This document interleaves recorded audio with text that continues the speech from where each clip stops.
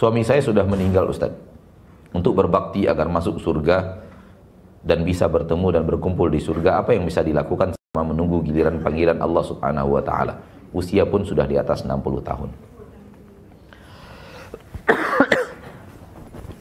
seluruh jalan ke surga, seluruh jalan ke surga yang bisa kita lakukan, lakukan.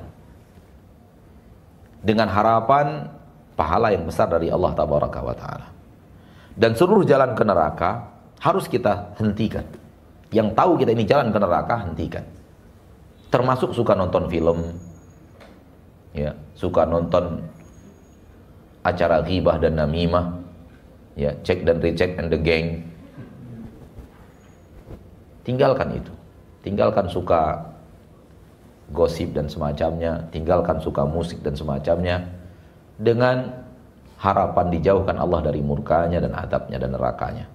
Berjalanlah di jalan itu terus sambil mendoakan suami agar suami dimaafkan Allah dosa dan kesalahannya, dilapangkan kuburnya dan semacamnya, diampuni ketika di yaumil mahsyar, di saat dihisab dan dijauhkan dari adab kubur, dijauhkan dari adab neraka, dimasukkan ke dalam surga.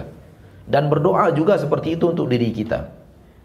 Kalau seandainya nanti kita masuk surga dan suami kita masuk surga, kita akan berkumpul di surga.